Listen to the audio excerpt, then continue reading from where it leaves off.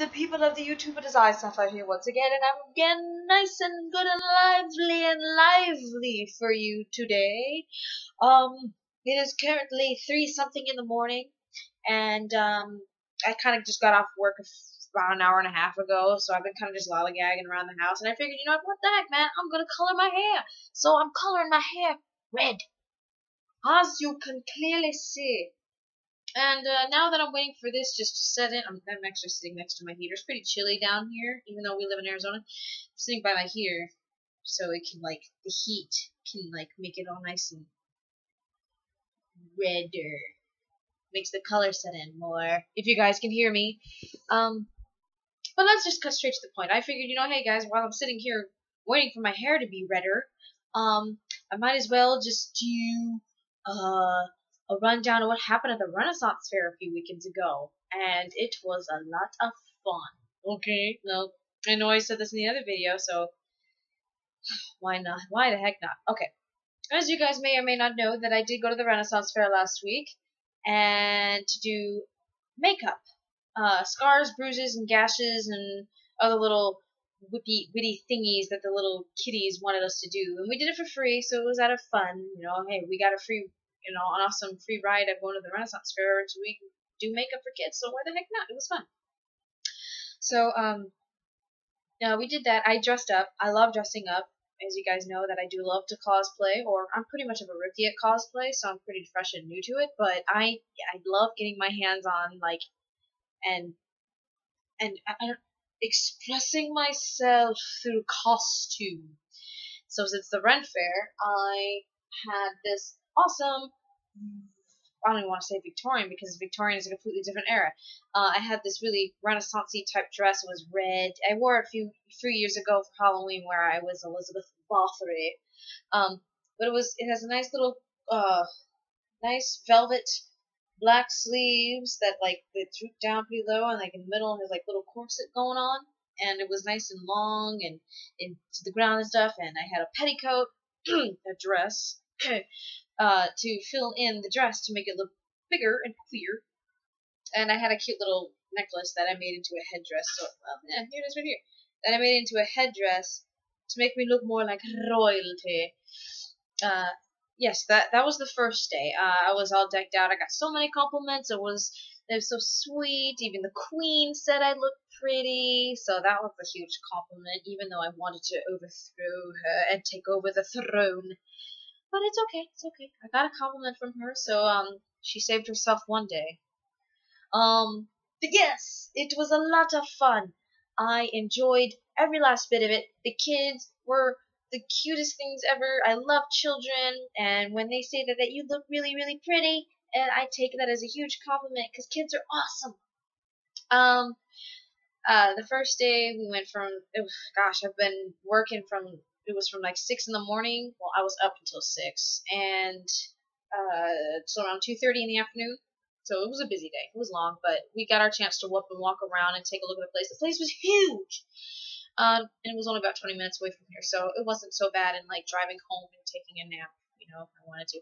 Um, so yeah, the first day was pretty much of a get my feet wet in uh, getting makeup done for the kids uh, and then the next time that we met up again, which was our second day, was where I kind of ventured about since it was only us three and we were kind of running low on makeup. So we kind of took a break here and there so we wouldn't run out of makeup so fast. Um, but uh, kind of got a little carried away and lost track of time on the second day, sadly.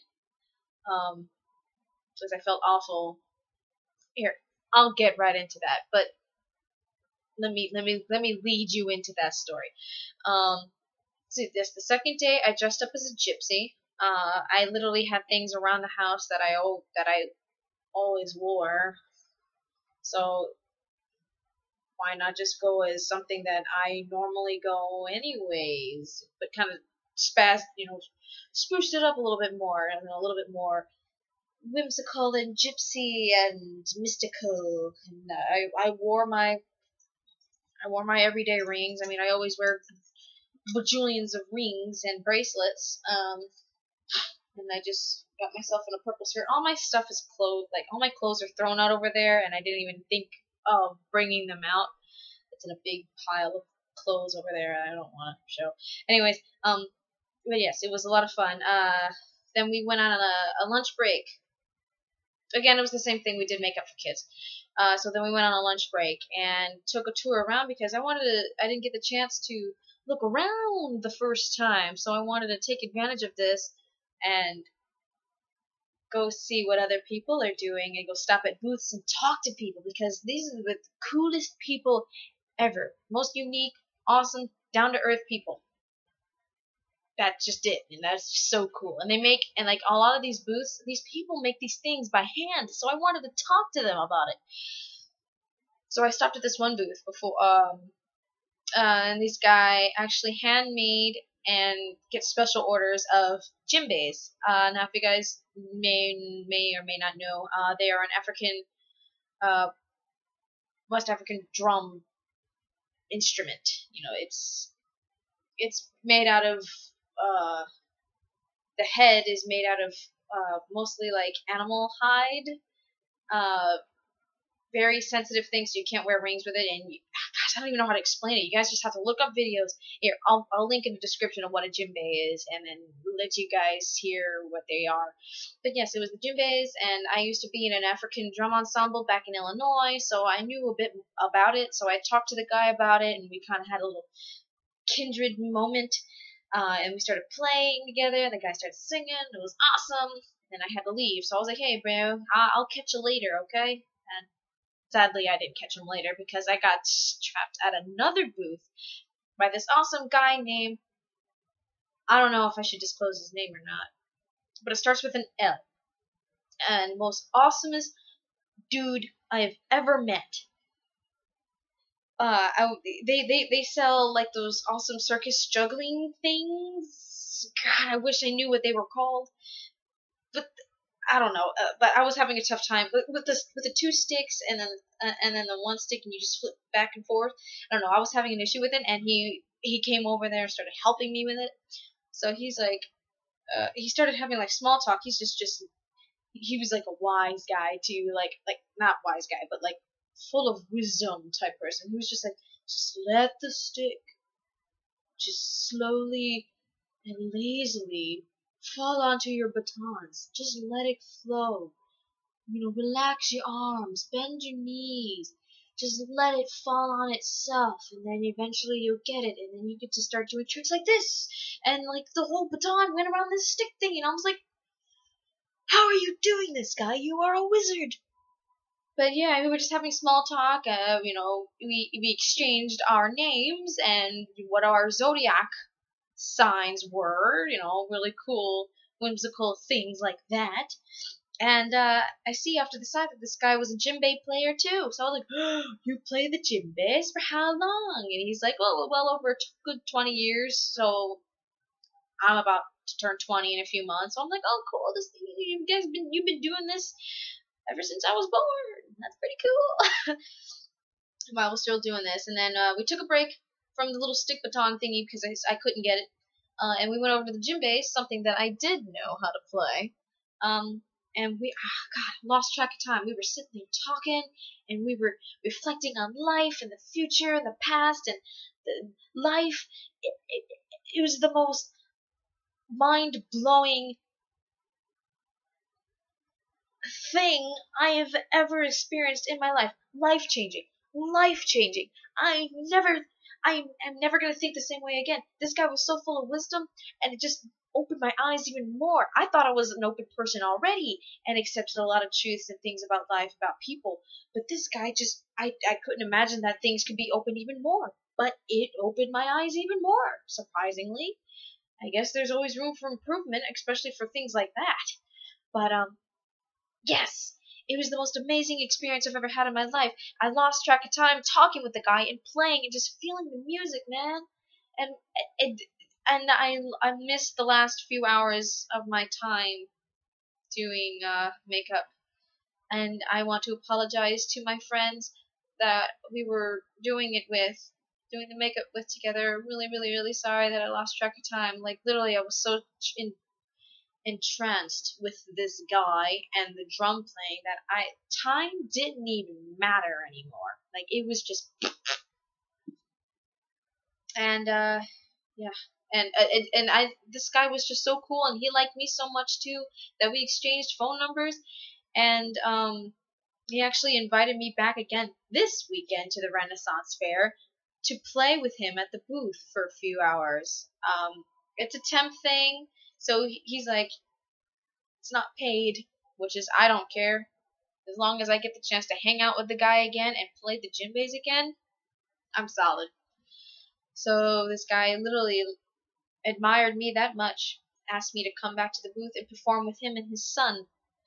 Uh, for people so yeah.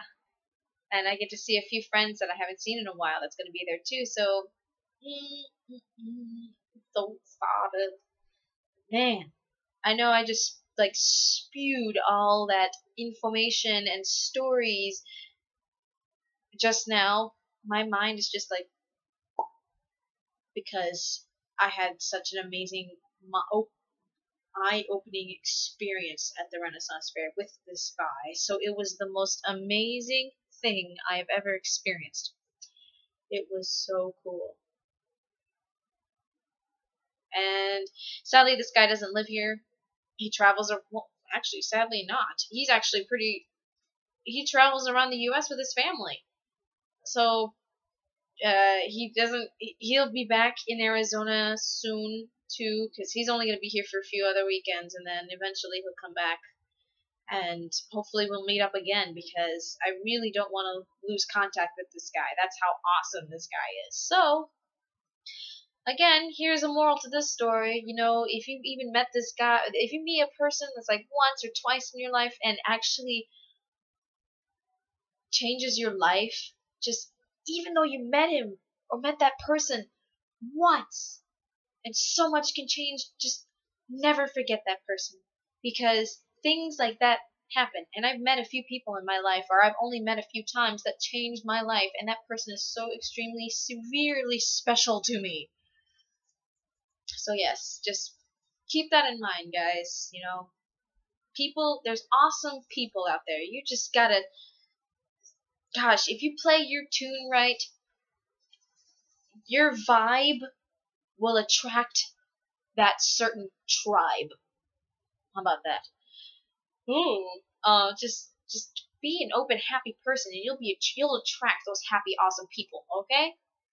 That's just it. Be happy. I certainly am. Well, looks like we're running uh, pretty late in this video, so I'm going to cut it now. So, again, guys, thank you so much for watching this video, and I'm going to be leaving a link of what a djembe is in the description below. And if you guys are going to the Renaissance Fair, please be there, because I'll be there, and I'll be drumming. Sadly, I forgot what the booth's name is. But, you know, if you hear drumming, most likely it's me and my, my wise teacher. So, thank you guys again so much for watching this video. As always, goodbye. Goodbye.